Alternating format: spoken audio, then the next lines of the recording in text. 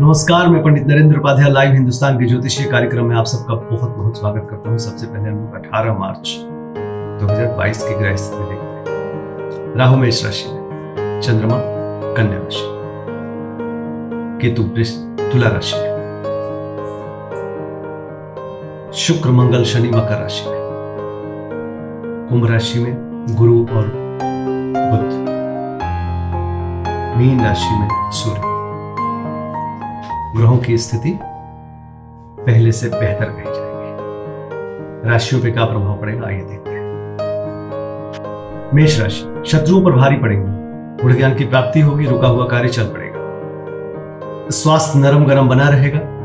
प्रेम और संतान की स्थिति अच्छी रहेगी। हरी वस्तु का दान करें अच्छा होगा। वृषभ राशि भावनाओं में बह के कोई निर्णय मत लीजिएगा। अदरवाइज़ नुकसान संभव है। बच्चों के सेहत पे ध्यान दें। प्रेम में तू में, स्वास्थ्य करीब करीब ठीक रहेगा।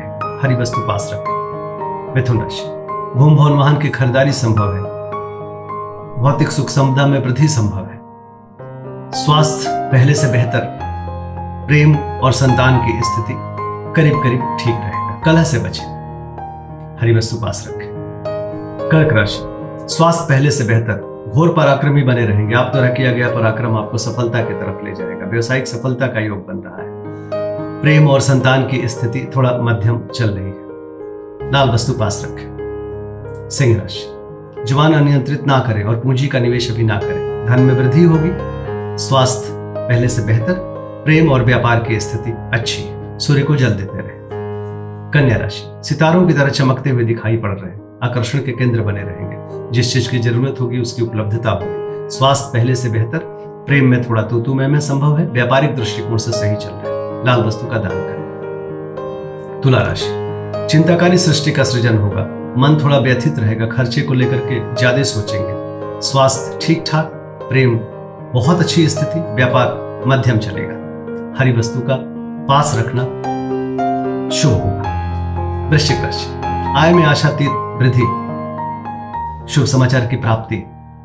रुका हुआ धन वापस मिलेगा। स्वास्थ्य अच्छा है, प्रेम की स्थिति अच्छी है, व्यापार बहुत अच्छा है। पीली वस्तु पास रखें धनुराशि शासन सत्ता पक्ष का सहयोग मिलेगा। उच्च अधिकारी प्रसन्न होंगे स्वास्थ्य अच्छा है। प्रेम की स्थिति काफ़ी समीपता वाली है। व्यापार आपका बहुत अच्छा दिखाई पड़ रहा है। हरी वस्तु का दान करें। मकर राशि, भाग्य साथ देगा। यात्रा में लाभ होगा। रुका हुआ कार्य चल पड़ेगा। स्वास्थ्य पहले से बेहतर। प्रेम की स्थिति बिल्कुल कंधे से कंधा मिला के चल रही है और संतान आज्ञा का पालन कर रही है। व्यापार आपका अच्छा दिख रहा है। हरी वस्तु पास कुंभ राशि जोखिम भरा समय, चोट चपेट लग सकता है, किसी परेशानी में पड़ सकते हैं, बच के पार करें। स्वास्थ्य मध्यम है, प्रेम मध्यम है, व्यापारिक दृष्टिकोण से आप सही चलते रहे। गणेश जी को प्रणाम करते रहे। मीन राशि। जीवन साथी का सानिध्य मिलेगा, रोजी रोज़गार में तरक्की करेंगे, प्रेम का साथ होगा। व्यवसायिक सफलता मिलेगा, सब कुछ बहुत बढ़िया दिखाई पड़ रहा है। हरा चारा, किसी मवेशी को खिलाना आपके लिए शुभ। होगा नमस्कार